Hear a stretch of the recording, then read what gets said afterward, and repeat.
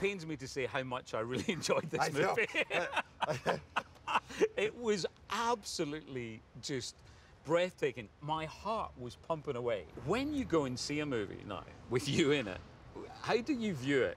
Can you can you just watch it?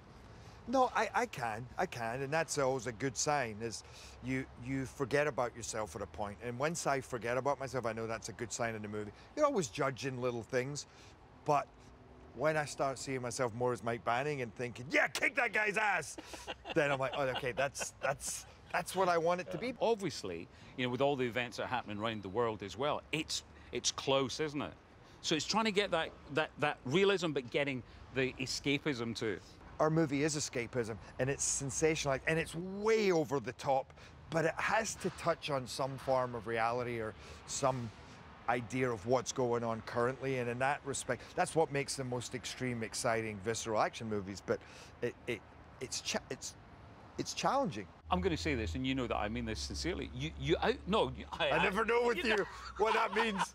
What's going to come out of my mouth now? You, you, you out, out bonded Bond, I would say. No, seriously. I, so we've known each other forever. I've often wondered about this, though. I mean, you're the big tough guy, but we're both from Scotland. Do you think you actually really could take me in a fight? I know a lot of people have wanted to see me do that for a long time. I didn't expect that. That was fantastic. Uh, I think Ross is all right now. Yeah, hope so.